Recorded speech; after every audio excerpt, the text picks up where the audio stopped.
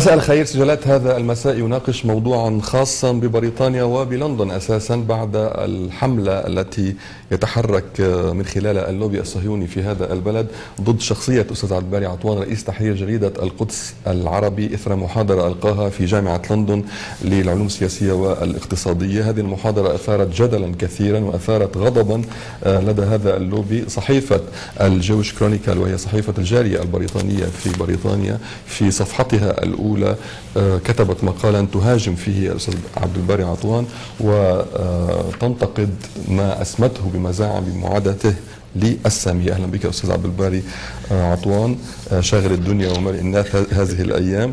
طبعا ليست أول محاضرة تلقيها في في بريطانيا وليس أول هجوم لديك من هذه الصحيفة أو من من هذا اللوبي. لماذا هذه المرة؟ هل هل ما جرى في هذه المحاضرة يبرر رد الفعل بهذا الشكل؟ لا هو شوف يعني بدأت القصة عندما يعني كثر ظهوري في التلفزيونات البريطانية ك يعني متحدث كخبير في الشؤون الشرق الأوسط وفي الشؤون العالمية هذا أزعج اللوبي الصهيوني في بريطانيا بسبب هذا الظهور.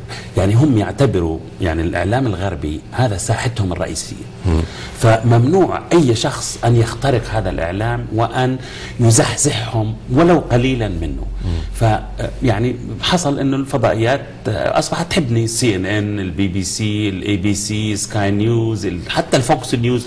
كلهم يعني لأن أنا رب يعني بجيب جمهور لهم حسب تعبيرهم يعني بعطيهم catch phrases بعطيهم sound bites بعطيهم لأني بحكي بطريقة عفوية حسب دراساتهم. فلذلك هذا أزعج اللوبي الإسرائيلي في بريطانيا بشكل مرعب. فبدأوا يفتعلوا قصص لتشويه صورتي. بدأت الحملة بأنهم أخذوا مقطع من برنامجك علامة استفهام. أنت سألتني في طيب لو ضربت إسرائيل إيران وإيران ردت وقصفت إسرائيل بالصواريخ كيف بتكون؟ قلت لهم طبعا قلت لك بفرح طبعا حتى برقص يعني.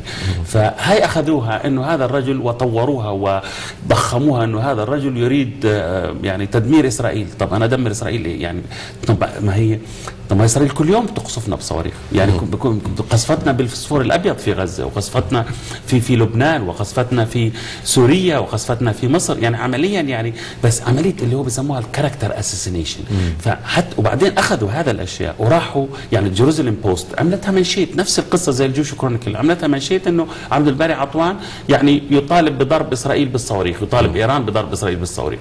وذهبوا إلى البي بي سي وذهبوا إلى Sky News وذهبوا إنه إنه يا أخي هذا الشخص يريد كيف يريد تدمير إسرائيل كيف تسمح له بأن يظهر على شاشتكم؟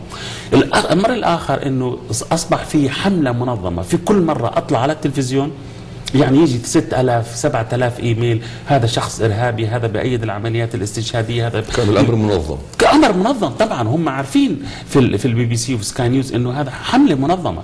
فطبعا هم عندهم ناسهم داخل هذه المؤسسات طبعا وبيحاولوا يضغطوا إنه أنا مطلع ومع ذلك استمروا في استقبالك وفي دعوتك لي لا استمروا بس بشكل أقل. م. يعني تعرف هو يعني هم عندهم تنظيم رهيب جدا. يعني في الوقت اللي إحنا مثلا ما بيبعتوش آه خمس إيميلات من العرب والمسلمين إلى هذه المحطات. تجد مثلا 6000 5000 أحيانا 10000 إيميل منهم ومنظمه ومن عناوين مختلفة.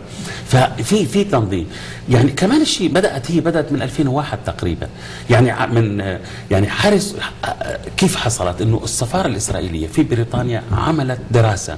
وتبين من هذه الدراسة إنه أي شخص دراسة علمية أي شخص بيظهر أمام عبد الباري عطوان في القنوات الاجنبيه عبد الباري عطوان بينتصر لأنه spontaneous عفوي لأنه صادق لأنه ما بيستخدمش كلمات ضخمة أو عبارات ضخمة قريب للقلب. فقرروا إنه إنه اولا ممنوع أي إسرائيلي يظهر مع عبد الباري عطوان على التلفزيون.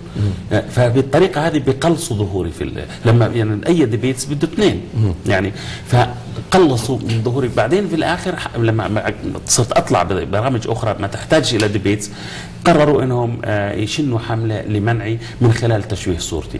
فيعني آه، هذا هذا اللي حصل. لما صارت ال- الفترة الأخيرة بدأت الجامعات تطلبني يعني جامعة آه، كامبريدج جامعة اوكسفورد جامعة درام جامعة Trinity College مثلا جامعة جلاسكو جامعة هارفارد جامعة جورج تاون جامعة براون فانزعجوا إنك توصل أنت لل think tanks توصل للطلاب اللي هم الصغار هذول ويحبوني كثير. يعني يعني مرة طلعت أنا وريتشارد بيرل في جامعة هارفارد الطلاب يعني وقفوا معي في يعني يعني Kennedy School of Governance هذا اللي بتخرج الحكام والحكم الرشيد يعني. الطلاب كانوا معي أنا ضد ريتشارد لدرجه ريتشارد بيرل اللي هو كان مساعد وزير الدفاع أيام حرب العراق وبسموه أمير الظلام. تخيل يعني مسؤول في في في ال- الحكومة الأمريكية. الطلاب وقفوا معي أنا وقالوا له أنت مجرم حرب ويجب أن تحاكم. فهم عارفين إنه لما أروح أنا بأثر. يعني هاي من الله. يعني أنا ما اخترعتها من. ما- ما- مش من آه يعني أنا أنا زي ما بطلع معك. وأنت يعني دكتور يعني في كثير سجلات مع بعض. يعني بتحس انه فهم قرروا إنه يمنعوا ظهوري بأي شكل من الأشكال. وكانت جامعة لندن هذه آخر حلقة. رغم انه بعض منتقدينك العرب يعتبرون أن لديك لغة آه، مع مع الإعلام الغربي هي أخف بكثير من لغتك مع الإعلام العربي. ومع ذلك هذه اللغة الخفيفه المعتدله المقننه آه، لم تعجب هذا هذا اللوبي. لا شوف هؤلاء العرب للأسف يعني آه في بعضهم يعني حقيقة يحاربونني يعني حرب أشد أو أشرس من الحرب ال- ال- ال- ال- الصهيونية علي. حقيقة. يعني هذا طلعوا في أيام حرب الخليج الأولى عام 2000 وعام 1990 ولأنه كنت أطلع على السي إن إن فكانوا حتى مش عايزين يشوفوا صورتي مش عايزين يشوفوا شكلي. ما ب- بدهمش حرية قول. ما كانش أيام الجزيرة ولا ال ANB ولا العربية ولا شيء. يعني كانت بس اللي هي فقط ال CNN وال BBC. فكنت أطلع على هذه المحطات. طبعا المحطات العربية لا تستضيفني. فينزعجوا أني أنا بطلع وبتحدث وجهة نظر أخرى. فقالوا أنهم حتى شوهوا كمان صورتي. قالوا أنه عبد الباري عطوان بيتحدث لغتين بيتحدث الاعلام العربي شيء وبيتحدث الإع- الإعلام الأجنبي شيء آخر. ما كانش في إعلام عربي اتحدث له أساسا. يعني أصلا يعني ما كانش في يعني ما كان زي ما حكيت ما كانش في الجزيرة ما كانش في الع- العربية ما كانش في مثلا ال ANB ما كانش ابدا. هم يعني آه، أنا بتحدث لغة واحدة.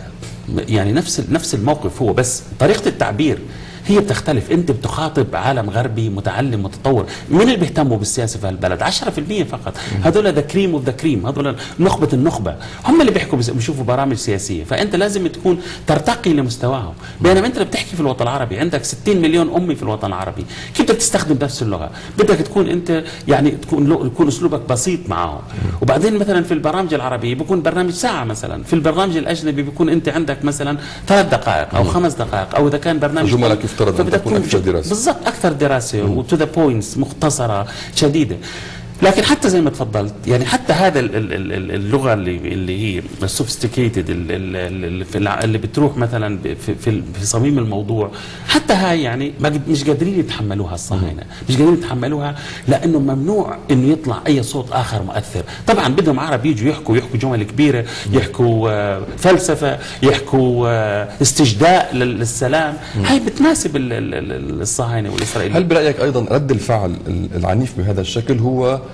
بسبب عنوان المحاضرة. هذه المحاضرة لا تتكلم عن فلسطين أو تتكلم عن اللوبي الصهيوني في بريطانيا والولايات المتحدة وبالتالي وكأنك تدق على أبواب هذا اللوبي.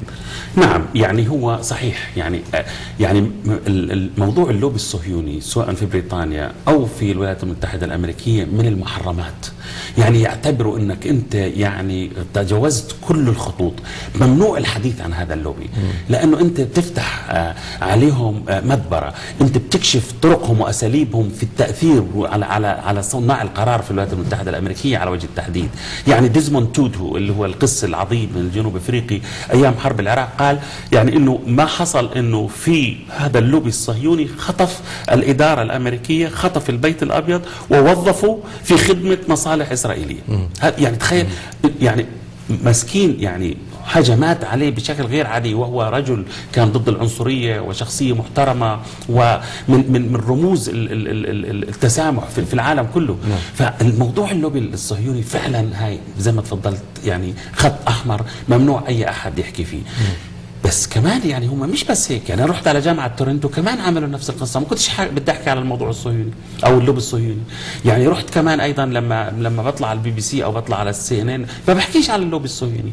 هم يعني في ال- ال- الاستهداف استهداف لهذا الشخص ابن المخيم اللي آه، استطاع إنه يحكي بلغة عفوية بلغة بسيطة ويصل إلى قلوب الناس. ممنوع يعني هذا هذا الممنوع. الإنجليزية طبعا. طبعا اللغة الإنجليزية طبعا. ما هو طيب. هي هم بدهم يعني بدهم بدهم العرب هم بكيفوا على إنسان عربي. لغة الإنجليزية مكسرة. وإذا كانت لغة الإنجليزية جيدة بتكون لغة مقعرة لأنه بده يظهر نفسه أكاديمي عظيم وخبير ويحكي بالكوين أكسنت هاي لغة الملكة. وهذه هذا بكيف آه بكيفوا عليهم هذول بكيفوا عليهم لأنه هاي يعني زي واحد زي البريطانيين بدهم بدهم مش واحد يجي يخلي الناس تتعاطف مع قضايانا العربية. فلذلك هاي سبب الحمل عليه. قبل المحاضرة كان هناك أيضا اعتراض من قبل هذه اللوبيات ومن قبل آه، أساسا الاتحاد الطلبي وغير ذلك طبعا للتذكير بأن المجموعة الفلسطينية في الاتحاد الطلبي في هذه الجامعة هو الذي نظم هذه المحاضرة وحاولوا آه، يعني منعك أو حاولوا نعم. إلغاء هذه المحاضرة ومع ذلك. أريد أن أعرف لماذا الجامعة وافقت؟ يعني هل الجامعة كانت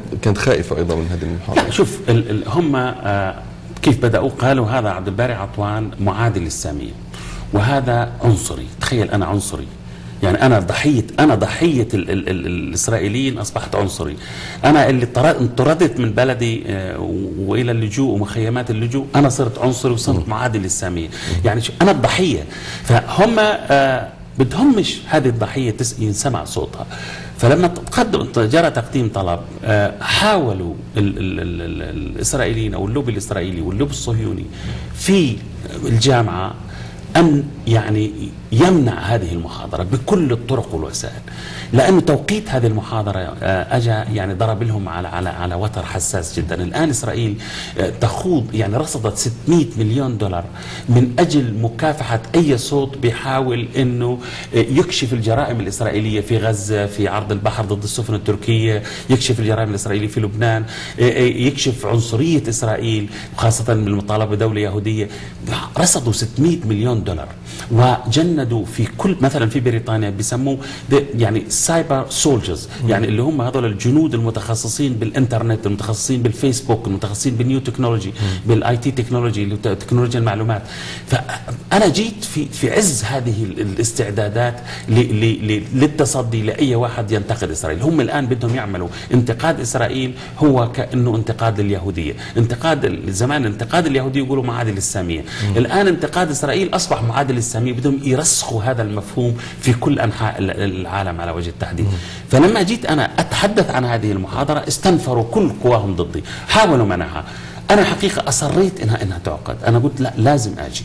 حتى وقالوا بدهم يعملوا مظاهرة وبعدين في خطر على حياتك. قلت أهلا وسهلا. خطر على أنا مش أحسن من من عشرات الآلاف من من الشهداء اللي سقطوا في في من أجل هذه القضية المصيرية. من لبنانيين ومن أردنيين ومن سوريين ومن فلسطينيين ومن عراقيين ومن مصريين ومن جزائريين. ليش؟ بدهم يقتلوني ما عندي مانع؟ يعني طب ما عندنا شباب عندنا 11000 أسير في السجون. خسروا حياتهم ومحكومين 10 مؤبد ولا 20 مؤبد. فأصريت انه فهم بعدين لما فشلوا في منع المحاضرة. قالوا طب لماذا لا يكون هناك توازن؟ لماذا لا يكون هناك خطيب آخر مثلا حتى يعمل توازن؟ فقالوا لهم الجهة المنظمة لا. ليش؟ هذه إحنا محاضراتنا ونحن حرين. بدنا نجيب وبدناش نجيب. أنتم نظموا لحالكم. فكمان فشلوا في هذه القصة. فلما صارت المحاضرة فعلا حاولوا أجوا جابوا طلاب وجلسوهم بحيث يحرجوني. يعني بالأسئلة أو شيء وهيك. برضو يخربوا المحاضرة. ما نجحوش في ذلك.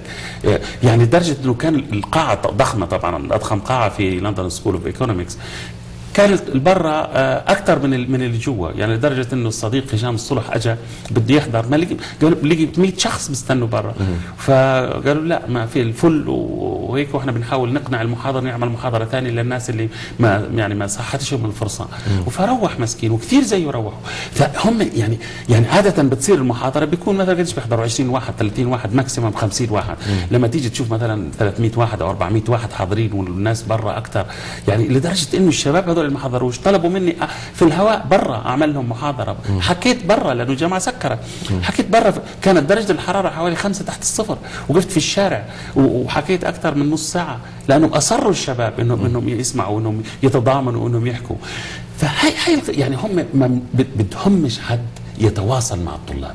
بدهم يضل الكامبوس هاي اللي هي الجامعات تضل آه، بس تحت سيطرتهم ويضل هم المسيطرين عليها. وإذا ما سيطروش عليها على الأقل يمنعوا ناس يجوا يأثروا على لأنه هذا الطلاب ترى ثورة. الطالب لما في هذه السن من 18 ل 22 هذا بيكون يعني مشروع مشروع مشروع تغيير مشروع تمرد. وشفت انت يعني حوالي 60 ألف تظاهروا في في Trafalgar Square في لندن ضد زيادة الرسوم. فهم عارفين إنه هذول الناس hot يعني زي ما بقولهم hot headed يعني راسهم سخنة. إذا أنت جيت مثلا وقنعته معك بيصيروا دائما إلى جانبك. فهم ما بدهمش نوصل للطلاب. هم الآن يعني خاصة جيل جديد في بريطانيا أو في أمريكا أو في أوروبا ما عندوش عقدة الهولوكوست. ما عندوش عقدة الذنب تجاه اليهود. وشايف القنابل الفسفورية اللي استخدمت في قطاع غزة شايف الأطفال 400 طفل تمزقت أجسادهم في, في, في على شاشات التلفزيون شايف اللي عملوه في جنوب لبنان والدمار الشديد اللي عملوه شايف كل شايف كأنهم هم بيعطلوا عملية السلام اللي طول عمره بيحكوا إحنا سلام بدنا سلام وهم الآن بيعطلوها من خلال بناء المستوطنات. بيعرض عليهم آه، الرئيس أوباما 3.5 مليار دولار قيمة أسلحة منها الطائرات المتقدمة جدا الاف 35 هذه اللي لا ترصدها الرادار. ورغم ذلك بيقول لا آسفين. كل هذا مقابل تجميد لمدة ثلاث أشهر وهم رافضين. فهم عارفين إنه إنه بيقدروش يدافعوا عن نفسهم بعد تقرير جولدستون بعد مجازر غزة بعد مجازر لبنان. ما عندهمش القدرة. فما بدهمش حدا يجي يحكي عن هذه الجرائم للطلاب أو في وسائل الإعلام. وهذا سبب الحرب. طيب أستاذ عبد عطوان طبعا هذا الموضوع موضوع المحاضره رد الفعل لم يعني لم آه، يبقى داخل أروقة الجامعة وداخل بقاعه المحاضرات. خرج إلى العلن وبدأت مقالات وخصوصا آه، عندما يوضع مقال من هذا النوع على الصفحة الأولى لجريدة الجالي اليهودي البريطاني. آه، لا أعرف إذا كنت تشعر وكنت طبعا الانتقادات لك أنك معادي للسامية وأنك محرض على العنف. لا أعرف إذا كنت شخصيا تشعر إنه هذه هذا النوع من الحملة قد يكون أيضا محرض على العنف ضدك شخصيا. نعم هو الآن. يعني شوف هم هم أذكياء بلا شك. ما هو الهدف الهدف هو إنه هاي بتصير في ال database في في بنك المعلومات. انت الآن بحطوها حتى لما تحط اسم عبد الباري عطوان يطلع إنه معادي للساميه ومحرض على العنف وإنه يعني حتى يشككوا في مصداقيتك كمحاضر يشككوا في مصداقيتك كصحفي خاصة في العالم الغربي. يعني هم يعني هذا العالم الغربي هو عالمهم مسيطرين عليه وبذلوا جهد كبير جدا. بدهم مش واحد زيي يجي يفسد عليهم الطبخة بشكل أو بآخر. بدهم مش واحد زيي يجي يوعي الناس لجرائمهم ومجازرهم ومعاداتهم هم المعادين للساميه هم المعاد إحنا ساميين. طيب يا أخي. طيب يعني إحنا إحنا إحنا أولاد سام يعني.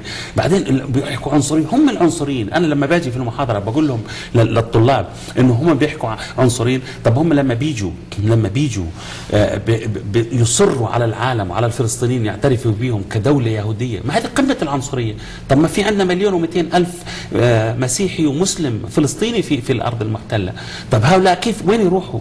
طب هذا هذا هذا قمة العنصرية إنك أنت تيجي تلغي الآخر بهذا الشكل. أيضا قمة العنصرية إنه تيجي الولايات المتحدة الأمريكية تقرهم في هذا التوجه العنصري. هذه الدولة متعددة الثقافات متعددة الأديان متعددة الألوان.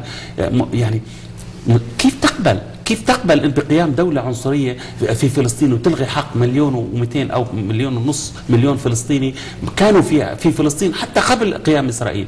فلما تيجي أنت تحكي للطلاب هذا الكلام أو تحكيه في الميديا الميديا الناس بيقول لك والله يا أخي هذا الشاب عنده وجهة نظر هذا يعني وجهة نظره صحيحة. فعلا كيف كيف كيف أنت بتيجي في القرن ال21 بدك تقيم دولة على أساس ديني عنصري وتلغي حق الآخر فيها؟ فلهذا السبب لهذا السبب هم بيحاولوا بقدر الإمكان يشوهوا صورتي حتى لما تيجي أي واحد بده يعمل بحث علي في الجوجل مثلا يطلع عبد الباري عطوان معادل إنه عنصري معادل السامية بحرض على العنف بحرض على الكراهية زي ما حاطين في العنوان هاي. هذا هو الهدف بتاعه. حتى تيجي الجامعات تقول لك شو بدنا في هالمشاكل وش بدنا في الشر ابعد عن الشر وغني له. هذا هو الهدف. لكن الحمد لله يعني طبعا إحنا في صراع طبعا. إحنا في حرب معهم إذا في العرب استسلموا أنا ما استسلمت. إحنا في حرب معهم إحنا في عندنا قضية أساسية. إحنا عندنا مقدسات مسيحية وإسلامية محتلة. أنا يعني يعني إيش ما أعمل أنا في من أجل قضيتي؟ أنا بعتبره إنجاز كبير. حتى أنا عدم نجاحهم في منعي يعني أو عدم قدرتهم على منعي من الحضور والجلوس والحديث للطلاب هذا يعتبر إنجاز كبير جدا. هذا تعتبر هزيمة لهم انتصار إلنا مش إلي أنا إلنا. لأنه إحنا لازم نكون على قدها في النزال. يعني إذا إحنا فشلنا عسكريا على الأقل يا أخي ننجح دبلوماسيا ننجح سياسيا ننجح ثقافيا ننجح فكريا. الجويش كرونيكال تأخذ عليك بأنك اتهمت الطلاب اليهود الموجودين في هذه المحاضرة بأنهم هم وراء ال- ال- الهجوم على غزة. أريد أن أعرف نوعية الأسئلة اللي سئلت ونوعية ردك آه، الذي حصل والذي أثار هذا هذا الغضب. لا هم يعني شوف هم كيف؟ هم بيحاولوا إنهم يستفزوا يعني they are provocative يعني يستفزوك. بحيث إنك أنت تفقد أعصابك. أنا ما فقدت أعصابي. بالعكس كنت هادي جدا. آه يعني هو بي بي يعني اولا هذا ال- الطالب ما قالش عن حاله إنه يهودي. يعني ما قدمش نفسه والله أنا اليهودي مثلا آه، مناحم كذا. لا. سأل سؤال آه إنه أنت مثلا بتأيد آه يعني قصف إسرائيل بالصواريخ. فقلت له أنت بتسألني أنا إنه أنا بأيد أو لا أؤيد؟ طب ما يعني الإسرائيليين هم اللي بيقصفونا يوميا هم اللي بيقصفونا في قطاع غزة هم اللي استخدموا الفوسفور الأبيض. فبقول له أنت يعني أنت بتدافع عن يعني عن دولة مارقة. م- انت آه، لازم تتذكر انهم قصفونا بالكذا وكذا وأنتم بتأيدوا قصفنا. فهو قال لي آه، مش أنا يعني أنا أنا طالب. قلت له لا أنا I mean I'm sorry حتى قلت له أنا آسف. أنا ما بقصدك أنت شخصيا أنا بقصد ال- الاسرائيليين وأنا أعتذر. لا يعني إن أنت شخصيا قصفتنا في غزة. هذا الكلام بس هم اجتزأوها أخذوا هذيك وما ما حطوش موجودة على الفيديو مسجل كله. والآن هو عند المحامي الفيديو. حتى في في ردك تقول إنه فليستمعوا إلى التسجيل الكامل. واستطعتنا ان ان طبعا عندي في تسجيل كامل وبث على قناة الجزيرة المحاضرة كلها بالكامل بثت على قناة الجزيرة مباشر. وما فيش فيها هذا الكلام على الإطلاق ومترجمه طبعا. آه، أيضا ال- الجوش كرونيكال نقلت عن كارل ماكنزي هي مديرة الحملات في اتحاد الطلبه اليهود قولها أن كلمات عطوان تتنافى مع سياسة اتحاد الطلبة فيما يتعلق باللاساميه كما أنها لا تتناغم مع مواثيق أخرى تسترشد بها الجامعة في هذا الخصوص كما انتهت منظ... كما اتهمت منظمي الفعالية بأنهم لم يوفروا بوعودهم التي تعهدوا بها للطلبة اليهود بما في ذلك عدم قيامهم بتصوير الفعالية إلى آخره إلى آخره. هل برأيك هذه رد رد فعل آه، يعني باي بأي معنى تعتبر انه هذه ردود فعل منظمة ومقررة وأن هناك لوبي وهناك توزيع أدوار بهذا الشكل. نعم. نعم. يعني يعني أنا أقول لك مثلا يعني هاي ثاني مرة أو ثالث مرة تقريبا بتجد إنه في عز المحاضرة بتجد إنه بنت يهودية بتحكي بتبكي مثلا أو إسرائيلية بعرف شيء تبكي تاثرا من كلامي إنه يعني هي إنه اهتزت وتأثرت وانفعلت وجرحت من كلامي وتصير تبكي وتطلع تهرب برا. يا أخي مش معقوله بصدفة. ثلاث مرات تصير مثلا إنه كله اوركستريتد كله منظم. يعني لما بيجوا بيجي بيهرب. يعني أنا أنا في تقديري. ثلاث مرات والله ثلاث مرات في ثلاث. محاضرات. لا مش في نفس الم... يعني لا، في لا، في- محاضرات ثانية إنه إنه فجأة تنهار باكي وتهرب. إنه يعني هي مسكينة مش قادرة تتحمل. طب ليش مش قادرة؟ طب تفضلوا اسمعوا ناقشوا. أنتوا أنتوا مش هلكونا بالديمقراطية. هم الدولة الديمقراطية الوحيدة في العالم. هم اللي بيأيدوا حرية التعبير. طب تفضلوا خلينا نحكي ونعبر. ما أنا قلت لهم قلت لهم أنتم تقصفونا وممنوع نحتج. أنتم تحتلوا أرضنا وممنوع نشتكي. أنتم بتضربونا بالصواريخ وممنوع نصرخ. أنتم بتجلدونا ممنوع نتألم. يعني ممنوع علينا. أنا الضحيه ممنوع. لا أنا لازم اخذ صو- صواريخ ولازم بيتي يتهدم ولازم آه، يعني آه، أهلي يتم- تتمزق جثثهم. وفي نفس الوقت إذا جيت أنا أحكي أدافع عن نفسي إذا أنا جيت يعني أشرح ظرف أهلي وظرف اللي إحنا بالنهايه فهذه في الحالة أنا معادل للسامية إنه أنا ببث الكراهية. أنا ببث الكراهية. أنا أنا الضحية. أنا أنا ال victim. أنا ال أنا أنا ال هاي ال- ال- العنصرية. أنا ضح- ضحية العنصرية الإسرائيلية. أهلي ضحية هذه العنصرية الإسرائيلية. لحتى الان لحتى الآن في ستين ألف أسرة فلسطينية عايشة على آه، آه، على دمار بيوتها على على ال ال ال ال ال يعني ال ال الركام البيوت بتاعتها. في وإحنا جايين الشتاء القارس الآن. ممنوع كيس إسمنت يدخل على قطاع غزة. وهذا لأهلي طيب. يعني يعني أنا بديش بديش أتف- بديش أحكي أحكي عن معاناتهم أمام العالم. فيك أيضا المحاضرة ردود الفعل عليها. آه، كان في كلام للبروفيسور مارتا ماندي هي أدارة الجلسة آه، معك. قالت أنها لن تسكت على أي اتهامات تشكك في مه- مهنيتها أو تسيء لسمعتها بأي شكل ولكنها نفت أن تكون قد خضعت للاستجواب من قبل الجامعة أو البوليس كما ادعت بعض المصادر في هذا الشأن. هل آه، شعرت أن هذه المحاضرة أحرجت؟ حتى البروفيسور مارتا ماندي أو أحرجت الجامعة. هل لديك آه، أتتك أي معلومات آه، بهذا الشأن؟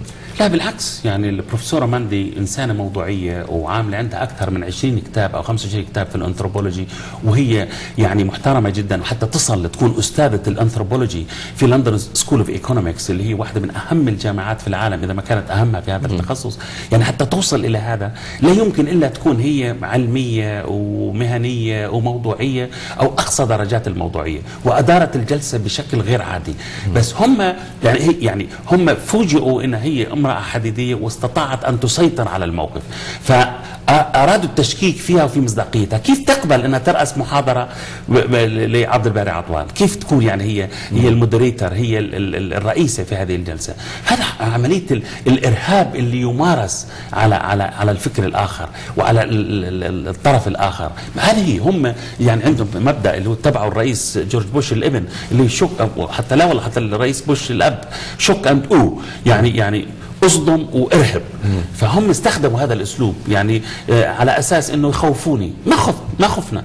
وأنا أنا بعرف شخصيا إنه البروفيسورة مارتا آه، آه، قدمت آه، دفاع كبير جدا إلى الجامعة وطالبت بالتحقيق مع هؤلاء اللي حاولوا يخرسوها ويخرسونا لأنه هذا مش من التقاليد العلمية ولا من التقاليد الأكاديمية ولا من التقاليد الأخلاقية حتى انك أنت تيجي تحاول إنك تمنع حرية التعبير في بلد مشتهر يعني مشهور بحرية التعبير وفي محفل أكاديمي. إيش المحفل الأكاديمي؟ تكون في وجهة النظر وجهة النظر المضادة.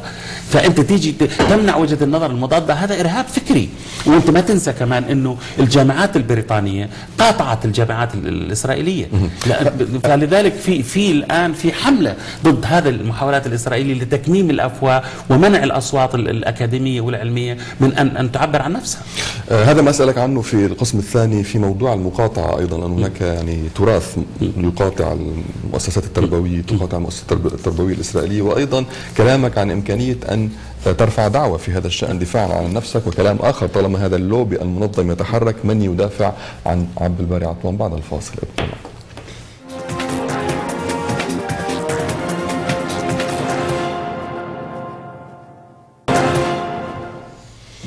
سجلات في القسم الثاني مع الأستاذ عبد الباري عطوان رئيس تحرير جريدة القدس العربي. نتحدث حول موضوع اللوبي الصهيوني حين يتحرك وهذه المرة يتحرك ضد الأستاذ عبد الباري آه، عطوان، أريد أن أسألك أستاذ عبد الباري عطوان حول آه، تراث المقاطعة الحاصل في بريطانيا من مؤسسات أكاديمية آه، وهو يعني هو طبعا شيء فريد في العالم من مؤسسات أكاديمية بريطانية قاطعت مؤسسات أكاديمية إسرائيلية، هل شعرت من خلال المحاضرات التي تلقيها واتصالك مع الجامعات ووجود آه، شخصيات أكاديمية كالبروفيسورة مارتا ماندي أن هناك آه، أصبح تراث بريطاني آه، يأخذ مسافة من هذا من هذا الاسرائيلي شوف ال- الآن ال- الرأي العام الأوروبي ضاق ذرعا بإسرائيل وبجرائم إسرائيل.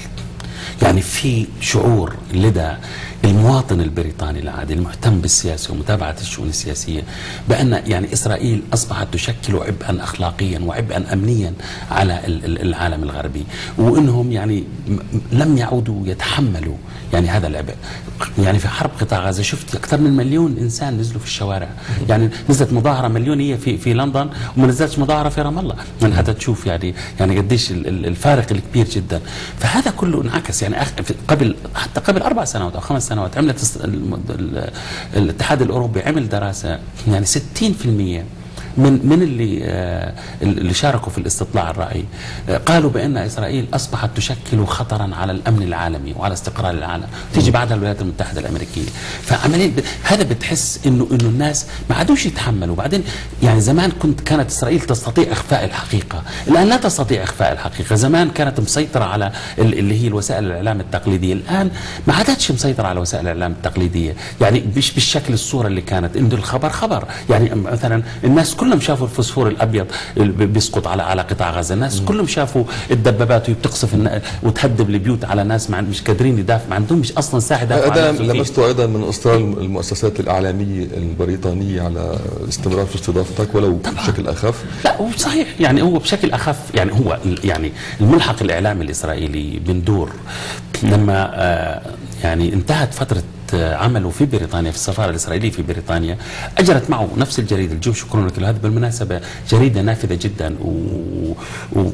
ومليئة بالإعلانات ومليئة يعني. يعني هي من أقدم الصحف اليهودية في العالم فعمل مقابلة صحفية لهذه الجريدة قال إنه يعني فشل نجح في بعض الوسائل الإعلام وفشل في أخرى ومن الم... الجرائد اللي فشل معها الجارديان والاندبندنت ولكنه حقق نجاح نجاحه الأبرز إنه يعني قلص من حضور عبد الباري عطوان في التلفزيونات البريطانية وإنه يعني أمر التلفزيونات البريطانية إنها تتعامل معه كرئيس تحرير جريدة القدس العربي وليس كخبير في شؤون الشرق الأوسط. هذا موجود documented الكلام.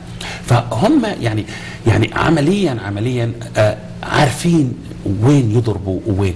لكن الآن يعني الآن هم في مأزق كبير جدا لأنه جرائمهم أصبحت هي اللي تتحدث عن نفسها. يعني ما عادوش ما عادوش يقدروا يخبوا ال- الحقائق ما عادوش يقدروا يكنسوا زبالتهم تحت السجادة. صارت واضحة جدا. وبعدين في البريطانيين والأوروبيين بشكل عام تخلصوا مثل ما قلت من عقدة الهولوكوست من عقدة اللي هو ال- الذنب تجاه الإسرائيليين. لأنهم شافوا إن الإسرائيليين بيمارسوا ما هو أخطر من ذلك. الآن أيضا هناك الإعلام البديل هناك الإنترنت هناك مواقع الانترنت وشفت الويكيليكس إيش اللي عملته يعني بشكل أو بآخر فضحت العالم كله. فهم سيطرتهم على الإعلام تقليديا و- وتشويه الصورة وتضليل الناس خفت تقلصت لعده أسباب. اولا لأنه العالم أصبح قرية صغيرة آه، وسائل إعلام متعددة إعلام بديل إنترنت فيسبوك تويتر بعدين كمان في جيل جديد من الشبان العرب والمسلمين والبريطانيين الم- المتعاطفين معنا. هذا الجيل لا يخاف مش زينا إحنا ولا زي آبائنا. هذا جيل لا بيعتبر نفسه ابن البلد. يعني هذا الباكستاني والهندي والماليزي والاسترالي وال... اللي انولد في هالبلد هاي مثلا والعربي طبعا. يعني هذا لا يخاف من من من البوليس مثلا ولا يخاف من التهديدات. يعني بيعتبر إنه حقه يتصدى لل... لل... لل- للتزييف الإسرائيلي اللي بيصير. نفس الشيء الآن عندك كمان أكاديميين شبان يعني بريطانيين وأوروبيين. هؤلاء الناس ما هم شايفين الحقائق على الأرض. ها أصبحوا هؤلاء يعني هم السلاح الثقيل. تقول العرب ما فيش عرب. يعني عاملين حكومات رسمية ما فيش. والله لم لم تأتيني رسالة من أي سفارة عربية. والله لم يتصل سفير عربي يقول والله يا أخي الله يعطيك العافية إيش ممكن نعمل؟ اطلاقا. والله يعني يعني المحطه كثر خيرها طبعا الجزيرة صورت ال- المحاضرة وكل حاجة هيك آه، طبعا وهي ال ANB لكن للاسف للأسف يعني إنه في الوقت اللي أنا بحاربوني المحطات ال- ال- ال- بعض المحطات الإسرائيلية أو الغربية اللي هم ال- اللي يعني بسبب التأثير الإسرائيلي قصدي. أنا عمري ما طلعت في محطة إسرائيلية ولا عمري أعطيت حديث لأي محطة أو لجريدة إسرائيلية في حياتي. لكن يعني في الوقت اللي بيحاولوا يقلصوا ظهوري يعني المؤسف حتى عندكم في لبنان. يعني كل محطات 14 آذار ما بتقرب على جريدة القدس ولا عبد الباري عطوان يعني تخيل لحد وين يعني يعني بقول لك إنه إحنا والله لبنان بلد الحريات وبلد كذا وبلد كذا. لأسباب عربية طبعا. لأسباب عربية. وفي يعني دول عربية للأسف تخصصها اللي هو محاربة جريدة القدس العربي ومحاربة عبد الباري عطوان فإحنا بنلوم ال- الإسرائيليين. يعني يعني ما هو عمليا لأنه لأنه للأسف إسرائيل ما عادت ال- ال- ال- ال- ال- العدو الأول للكثير من العرب. إسرائيل أصبحت الآن صديقة لبعض الدول العربية. بحجة اللي هو الملف الإيراني وضرب الملف الإيراني. يعني وهذا شيء واضح جدا. يعني ويكيليكس كشفت هذه الحقائق. وسمت الأمور باسمائها فعمليا عمليا للأسف عدو زمان كان في يعني السفارات العربية تتحرك ضد اللوبي ال- ال- الصهيوني في بريطانيا. تتحرك لدعم أي توجه لمواجهة هذا اللوبي. الآن لا. الآن لا يواجهوا هذا اللوبي على الإطلاق. ولا مستعدين يخ- يخوضوا حرب معه. ولا مستعدين يت- يتصدوا له. ابدا كل هدفهم هم يتصدوا لبعض. يعني أصبحت السفارات يتصدوا لبعضهم البعض.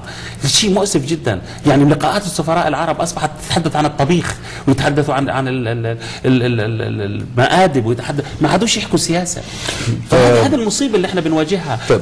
اللي بيقوموا بالدور الآن هم الطلاب والطلاب ال- المسلمين والطلاب العرب اللي اللي يعني والله بحييهم. والله الشباب اللي اللي كانوا منظمين تعرضوا لضغوط لم يتعرضوا كانوا رجال بمعنى كل الكلمة. والله كانوا وللآن يعني أخذوا على عاتقهم يتصدوا لهذا اللوبي اللوبي, اللوبي الصهيوني. والآن بعد هاي بعد اللي ما حصل الضجه أنا تلقيت خمس دعوات من جامعات أروح أعمل فيها محاضرات.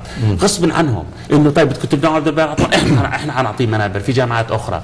وهذا اللي بصير. هيك بدنا إحنا بدنا بدنا ناس عندهم guts ناس رجال هيك إنهم إنهم ما يخضعوش لهذا اللوبي ولا لإرهابه. لأنه إحنا إذا خضعنا وإذا استسلمنا راحت كل كل المنطقة. الجو شكراني تقول أن الشرطة البريطانية سوف تقوم بالتحقيق معك في شأن مزاعم آه، معادية لل- لل- للسامية وهذا كلام لم يحصل.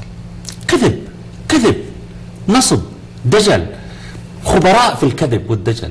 لم يتصل في بوليس. إيش بيقول البوليس بده يتصل في إيش عامل أنا؟ أنا جايب أسلحة على وبصواريخ على London School of Economics داخل بسيف أنا على ال- داخل بدبابة أنا. أنا جايب معادي ولا عندي حرس ولا عندي شيء داخل. ب ب حتى كنت تايه مش عارف وين المحاضرة. يعني فعمليا ليش البوليس تحقق معي؟ أنا أنا حكيت كلام كله كله مسجل. وحتى بعبر عن رأيي. يعني أنا بقدرش البوليس يمنعني من أعبر عن رأيي. أنا ما بحرض على ال ال الكراهية زي ما بيقولوا. أنا قلت أكثر من مرة قلت لهم أنا رجل سلام. قالوا عني عنصري. قلت لهم أنا رجل بطالب بدولة يتعايش فيها العرب والمسلمين والمسيحيين مع اليهود في دولة واحدة ديمقراطية على أسس المساواة وأسس العدالة. طب كيف؟ يعني ما بيقدروش ما يقدروا. بس هم حتى يبرروا إنهم هم يعني أو يغطوا فشلهم في منعي من الحديث في هذه الجامعة. وأنا أنا سعيد جدا إني إني تحدثت غصبا عنهم وغصبا عن ضغوطهم وهي قوية جدا. إنهم لأنهم يبرروا فشلهم يقول لك البوليس يحقق لم يتصل فينا البوليس ولم يتصل في الجهة المنظمة ولم يتصل في الجامعة ولم يتصل بالبروفيسوره ماندي ولم يتصل بأي حد. بس هذا كذب. يعني هم ملوك الكذب وتزوير الحقائق على أستاذ. الباري نقل عنك انك نقل عنك انك أنك تبحث مع محاميك. سبل مقاضاة الصحيفة اليهودية نتحدث عن Jewish Chronicle نظرا لما تضمنه تقريرها من مغالطات ومحاولات التشهير بسمعتك باتهامات مع عادات سامية إلى آخره، هل هذه أول مرة تفكر باتخاذ آه، عمل قانوني؟ هذه نعم. يعني آه لأنه آه يعني ما حصل إنه هذه يعني محاولة اغتيال شخصية. وتركيب كلام على لساني أنا ما قلته.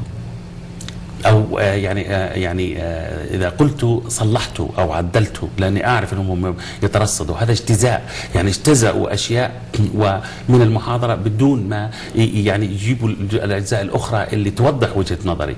فأنا عرضت الأمر على شركة محاماة كبيرة جدا وهذه الشركة يعني الآن تدرس كل الجوانب القانونية طلبت تسجيل كامل للمحاضرة وأرسلت لها هذا التسجيل والآن يدرسوا.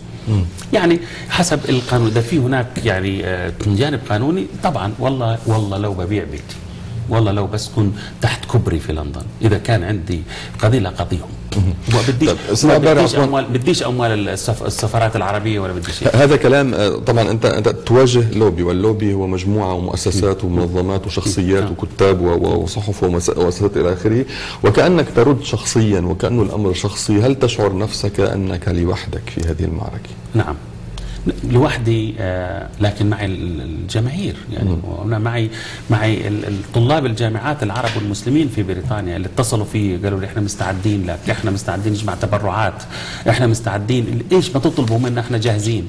يعني هاي هذا سندي لكن للأسف يعني ما ما اتصلت فيه ولا حكومة عربية ولا سفارة عربية ولا حد قال لي طيب إنه في هاي المحاماة لو صارت مقاضاة بدها تكاليف لأنه القضاء غالي جدا في هالبلد والدفاع غالي جدا. لم يتصل في عربي على الإطلاق يقول أنا مستعدين أن إحنا نساعدك. في حالة لو قررت أن ترفع دعوة قانونية. خايفين من إسرائيل خايفين من اللوبي الصهيوني. للأسف الطلاب ال- الصغار هذول مش خايفين من هذا اللوبي بيحاربوه. والحكومات العربية خايفة مطبوعة. للاسف هذه الحقيقة. نسيوا إن إسرائيل عدو نسيوا إنه عندنا مقدسات محتلة نسيوا إنه عندنا في شعب في قطاع غزة 2 مليون شخص تحت الحصار. نسيوا في 640 حاجز في الضفة الغربية بيهينوا ال- ال- النساء العربيات الأحرار. الحرات قاعدين بيولدوا على الحواجز الإسرائيلية. المرضى قاعدين بيموتوا على الحواجز الإسرائيلية في الضفة الغربية. وعندنا مرضى بت- بتستشهد في قطاع غزة. لأنهم مش لاقيين الدواء. عندنا ناس عايشين على ركام بيوتهم في خيام صغيرة بالية لأنه ممنوع عليهم يدخلوا إسمنت ويعيدوا بناء بيوتهم. للأسف هذه أمة عربية مش الأمة العربية الأمة العربية حية بس هذه الأنظمة العربية ماتت. ما عاد عندها والله طق شرش الحياة عندها. ما عادوش يخجلوا ولا يستحوا. بدهم مش يحاربوا إسرائيل. طب يا سيدي بدكوش تحاربوها بالقنابل بدكوش تحاربوها بالصواريخ. طب يا أخي حاربوها سياسة. تصدوا لها بالسياسة تصدوا لها بالدبلوماسية. شوف السفراء العرب. ما شاء الله الواحد منهم يعني في هالحفلات وفي هالكذا. لا يتصدوا. ما وريني في سفير عربي بيروح على جامعة وبيحكي في جامعة. وريني بيروح بدافع عن الحقوق العربية. بالعكس. يمكن يسمعك أحد السفراء العرب ويقدم آه، خدماته في هذا الشأن يعني. ما في ما بيقدموا. يا شيخ طيب. يا شيخ هم هم بيعرفوا معظمهم معظمهم معظمهم. ليش بيجيبوهم على البلد؟ بيجيبوهم على البلد إنه حتى إما يتقاعد تقاعد مريح حتى يرتاح أو إنه بكون قريب فلان أو علان من من الحاكم أو من من بطانة الحاكم أو إنه مريض حتى يتعالج في المستشفيات البريطانية. يعني في استثناءات طبعا مش بقولش كلهم هيك في في سفراء كويسين يعني وسفراء نشيطين يعني في موقف السفير الفلسطيني داعم آه، لك أيضا كان هناك آه. عريضة تم د- يعني تمرير عبر عبر ال emails آه، دعم دعما لك. لكن هل حضرتك آه، يعني حضرتك شخصيا لا تستطيع أن تنظم من يريد أن يؤيدك تنظم المؤسسات لكن هل تشعر انه هذه مناسبة لإعادة ترتيب البيت العربي في بريطانيا؟ وإنشاء لا أقول لوبي عربي لكن يعني إرهاصات لوبي بإمكانه الرد على هال للأسف ما فيش لوبي. زمان أنا صار لي في هالبلد 32 سنة يا دكتور محمد. أول ما جينا على هالبلد كان في كان في سفراء عرب كان في يعني ناس آه، حقيقة يعني يتبنوا أي موقف كان في الشيخ ناصر المنقور سفير المملكة العربية السعودية؟ الله يرحمه. كان في سفير عدنان عمران اللي هو السفير السوري. كان في يعني آه، يعني كمان سفير الإمارات. كان في يعني كان في دعم. كان في سفير اليمن. كان حتى سف- السفراء في مصر أيضا السفراء المصريين. كانوا في في لوبي عربي في محاضرات في ندوات في دعم للأنشطة الطلابية للأنشطة ال- ال- السياسية. كان في يعني كان في سخاء حتى في هذا الأمر لأنه كانت قضية فلسطين قضية الكل العرب. فتحس إنه في دعم غير عادي غير محدود وفي تصدي. الآن للأسف يعني وكان اللوبي حتى الصهيوني أقوى منه هليان. لكن للأسف الآن ما فيش باستثناء سفير يعني السفير الفلسطيني حقيقة لا يقصر اللي هو الدكتور آه، مانويل حساسيان يعني كمان أيضا السفير السوري آه، حقيقة اللي هو حسام الخيامي. سامي الخيمي حقيقة كمان بي- بيبادر وبيروح وبيتحرك. لكن غير هيك تشوف ما فيش سفراء ما فيش في- ما بتصدوش لإسرائيل بتصدوش للوبي الصهيوني. الآن أصبحت القصة كيف هم يعني عمليا كي- كيف يتآمروا على على على بعضهم البعض حقوق ما إحنا في انقسام عندنا في الوطن العربي الآن. في دول ممانعة ودول معتدلة حسب التقسيمات هاي. انه الم- بروح للبريطانيين بحرضوا البريطانيين ال- ال- المعتدلين على دول الممانعة للأسف. طب يا أخي خلي في قاسم مشترك. خلينا نشتغل عليه. في قاسم مشترك اسمه إسرائيل. الآن بيقول لك لا يا أخي إسرائيل ما عادش عدو. لا إسرائيل صديق. أو خلينا نفك فكنا من إسرائيل. لأنه بدهم إسرائيل حتى تضرب إيران. ويكونوا هم مع يعني إسرائيل تقوم بال بال بال بالدفاع عنهم أو تحقيق آه، ال- الواجب ال- تأمينهم بشكل أو بآخر. وشفنا وثائق ويكيليكس اقطعوا رأس الافعى الإيرانية بتضرب إيران الآن قبل ما تملك أسلحة نووية أرخص بكثير وأقل تكلفة مما تضربوها لو صار عندها أسلحة. مين اللي بحرض على ضربنا؟ العرب. فنسيوا إسرائيل نسيوا فلذلك هم الآن حبايبهم وإسرائيل. فلما يمكن الآن حتى لما يشوفوا عبد الباري عطوان بيدير وجههم على الناحية الثانية بدهم يشوفوني. ولا بدهم يسمعوا إيش صار. لأنه أنا بالنسبة لهم بذكرهم بذكرهم بعارهم بذكرهم بتخليهم عن المسجد الأقصى. بتذكرهم بتخليهم عن كنيسة القيامة. بتذكرهم عن عن ب- ب- ب- ب- ب- آه، ت- تقاعسهم عن عن رفع الحصار عن قطاع غزة. في في موازاة عتبك على على الجانب العربي هل آه، شعرت أن هناك حركة ولو شخصية أو مؤسساتية بريطانية هذه المرة من قبل أصدقائك من قبل آه، اتصالاتك في هذا البلد تتحرك لدعمك أو ل اي نعم. اتصلوا في كثير آه، يعني آه، جمعيات بريطانية آه، وقالوا إحنا معك وعرضوا خدمات قانونية وعرضوا محامين واتصلت أيضا يعني منظمات إسلامية وغير عربية للأسف يعني وعرضوا كمان خدماتهم وإحنا معك. والآن في يعني كمان هذا أول مقابلة أنا بحكي في هذا الموضوع لأني كنت مسافر. والآن في محطتين تلفزيونتين اتصلوا في انه بدهم يعملوا برامج ودعم وتضامن. أيضا في آه، شباب آه، في لندن وأكثر من دولة عربية عاملين حملة تضامن على على الإنترنت وعلى الفيسبوك. وشكرا للشباب على الفيسبوك لأنه حقيقة اشتغلوا شغل غير عادي ووزعوا الخبر. أيضا مواقع آه، إلكترونية مثلا موقع دنيا الوطن في فلسطين يعني عامل جهد غير عادي حقيقة وأنا بشكر ال- الأخوة اللي قائمين عليه. بس يعني زي قلت لك المشكلة إنه يعني إنه التلفزيونات العربية بعض التلفزيونات العربية ولا أقول كلها يعني أصبحت بتعبر عن حكوماتها اذا الحكومات يعني أصبحت إسرائيل ليس لا تشكل عدوا بالنسبة لها أصبحت التلفزيونات ينظر للاسرائيليين كأصدقاء وليس كأعداء. فلذلك يعني آه، يعني آه، أنا سعيد إنه أنا بتحدث في الاي ان بي عن هذه ال- ال- ال- المحنة اللي مش أنا بواجهها أنا ما عنديش مشكلة يعني أنا شوف يعني لما بيسألوني كثير بقول طب أنت يا أخي قد اللوبي الصهيوني أنا بكفي أكثر من عرب عرب يعني مثلا يقول والله إحنا معك بدل يقول يقول يا أخي بس أنت قد اللوبي الصهيوني أنت يا أخي عارف قديش قوتهم في هالبلد؟ أنت يا أخي عارف قديش هذا؟ بضروك ممكن يقتلوك. أنا برد معاه أقول يا أخي انت أنت بدل ما تساندني بتخوفني. أنت بدل ما تقول لي أنا معاك واقف معك بتخوفني. انت أنت قاعد بتقول لي لا إنه استسلم يعني وارمي ال- ال- الفوطة أو ال towel اللي هي ال- البشكير يعني زي يعني وخلاص وأستسلم. طب يا أخي بلدي هاي وحقي هاي وأمتي هاي وحقيتي هاي. يا أخي إحنا عندنا آلاف الشهداء سقطوا في من أجل من أجل قضايانا. طب أنا مين أنا يعني؟ أطفال بتستشهد من أجل قضايانا. يا أخي في عندنا 11000 أسير في سجون الاحتلال. أنا أحسن منهم؟ ليش ليش إحنا ما نكون نقول لا إحنا بدنا نتصدى لهذا اللوبي. لازم إحنا نرص الصفوف في مواجهته. لأنه يعني حتى أي عداء حتى لو كان الناس أعداء لإيران طب هذا عدو- ممكن زي ما صارت الحرب العراقية الإيرانية. انتهت الحرب العراقية الإيرانية وظلت قضية فلسطين وظلت قضية المقدسات موجودة. فإذا حتى إذا كان عندهم شوية عداء لإيران أو عندهم عداء مع إيران هذا العداء مؤقت إذا كان صحيح هذا العداء. لكن العدو اللي محتل أقصانا ومحتل أراضينا ويهين يهين آه، المرابطين آه، في المسجد الأقصى والمرابطين في مدينة القدس والمرابطين في غزة والمرابطين في الضفة الغربية والمرابطين في الجولان. هؤلاء الناس بحاجة لدعم. يعني لازم لازم ندعمهم لازم لازم نتصدى للي للي بهيننا وبهين كرامتنا وبهين مقدساتنا ويذلنا ويتبجح في في في العالم كله. إذا إحنا اللي عندنا عندنا حوالي 500 مليار دولار هذا بتدخل علينا دخل دخل دخل آه، يعني سنوي من النفط والغاز وعندنا كمان غير المنتوجات الأخرى. إذا إحنا مش قادرين نتصدى لهؤلاء الناس بشكل علمي وبشكل حضاري. طب إذا بدهمش يحاربوا طب يتصدوا لهم بشكل حضاري بشكل علمي يكسبوا العالم لمصلحتنا. طب الآن هيهم رايحين للامم المتحدة. في حمل الآن للأمم المتحدة؟ ما فيش فشلت المفاوضات. إيش عاملين العرب؟ إيش عامل العرب الرسميين؟ أنا هنا أتحدث. ماذا عملوا؟ هل قالوا مثلا والله إحنا يجب ان نشن حملة دبلوماسية على مستوى العالم لتجريم إسرائيل وتحميلها مسؤولية الفشل عملية السلام؟ كنت أتمنى مثلا يعقد مجلس السفراء العرب في بريطانيا وفي ألمانيا وفي كل دول في الولايات المتحدة. كيف إحنا نثبت للعالم انه إسرائيل هي التي أفشلت العملية السلمية؟ بالوقائع والأرقام والحقائق.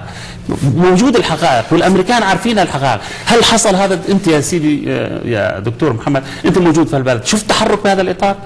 في تجربتك كإعلامي أستاذ عبد الباري عطوان من خلال آه، التأثير يبدو الواضح جدا في المحاضرات الملقاة على طلاب آه، عرب وأجانب أو بريطانيين أو أمريكيين باللغة الإنجليزية.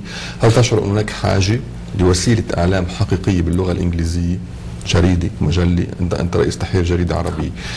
هل وسائلنا بال- بالتوجه إلى هذا الجمهور الغربي ما زالت قاصرة حتى الان نعم ما زالت قاصرة بس في تحسن في الصورة حقيقة. يعني في مثلا عندك الجزيرة English يعني أنا بعتقد أنه هي من أهم الأشياء اللي عملوها العرب. الجزيرة باللغة الإنجليزية أصبحت الآن تضاهي ال CNN وتضاهي ال BBC World Service. يعني شيء جميل جدا. يعني إحنا يعني هذه خطوة انطلاقة كبيرة. يعني كمان أصبح في هناك Press TV وهذه محطة إيرانية وحقيقة يعني بتدافع عن فلسطين أكثر ما بيدافع عنها كل الإعلام العربي بالعربي حتى. مثلا طيب، عندك طيب، Islam طيب، Channel Islam Channel كمان أيضا هذه بتتبنى قضايانا وبتدافع عن قضايانا وبشكل جميل. من, من هو جمهور هذه القنوات؟ صحيح انها ناطقة باللغة الإنجليزية طبعا هذا نقاش آخر لكن يبدو انه محاضرتك أكثر نجاعة من من كل هذه الفضائيات ما هو المجاعه شوف. لأنه الجمهور لا هو الجمهور لا لك يعني ليش الإسر- الإسرائيليين ليش بخافوا من الج- الجانب الجامعات هي ال think tank الجامعات هم قادة المستقبل. هؤلاء الطلاب هم اللي حيكونوا سفراء هم اللي حيكونوا وزراء. خاصة لما تيجي جامعة نخبوية زي London School of Economics أو تروح على اوكسفورد Saint Antony College مثلا رحت عدة مرات ألقيت محاضرة فيها. أو مثلا كامبريدج آه، هذول هم هم هم حكام المستقبل. هم اللي حيكونوا سفراء هم اللي حيكونوا وزراء هم اللي حيكونوا دبلوماسيين هم اللي حيكونوا في ال في ال في ال ال- وزارات الدفاع هم اللي حيكونوا في الأجهزة الأمنية. فأنت لما تروح أنت وتشرح قضاياك بطريقة علمية وطريقة محترمة وطريقة مؤثرة. كمان فيها شوية عاطفة مع شوية علم مع شوية كوكتيل جميل جدا. أنت هيك أنت بتربي أجيال المستقبل أنت بت- بتزرع فيهم بتزرع فيهم الحقائق اللي حاولت إسرائيل إنها تشوهها وتضللها. فمن هنا الخطر عشان هيك بحاربوني. لو أنا مش مؤثر طب كل يوم بيجوا محاضرين عرب وأنت بتعرف في هذا برنامجك بتعمل مقابلات مع وزراء مع محاضرين مع مفكرين مع سياسيين. طب وبروحوا طب اولا هل يسمح لهم يحكوا بالجامعات؟ لأنه مش أب مش مش مش على مستوى ثانيا حتى اللي بيلقوا محاضرات. عمرك سمعت إنهم احتجوا ال- ال- اللوبي ال- الصهيوني على واحد مثلا وعملوا له لأنهم غير مؤثرين. أو بعضهم غير مؤثر يعني حتى بعضهم مؤثر طبعا. لكن لكن لما بيجي واحد زيي مثلا ليش بتص... ليش أنا من دون كل هالعالم اللي بتيجي بتحكي؟ ليش مثلا لسبب بسيط أنهم عارفين إنه في قبول؟ وإخوان المصريين بيقول دي ده شيء من عند ربنا. يعني في- بحسوا انه إنه في تأثير في تجاوب. وبدراسات هؤلاء بيشتغلوا بدراسات بيشتغلوا باساليب علمية أساليب بحث آه، استطلاعات رأي. وعلى ضوءها بيقرروا مين يحاربوا ومين يصادقوا. أشكرك جزيل الشكر أستاذ عبد الباري عطوان رئيس تحرير جريدة القدس العربي وأعتبر انه لن يستطيع أحد أن يدافع عن عبد الباري عطوان أكثر من عبد الباري عطوان. كنا نتحدث عن هذا اللوبي الصهيوني الذي يتحرك ضد عبد الباري عطوان. شكرا للانتباه إلى اللقاء. أشكرك جدا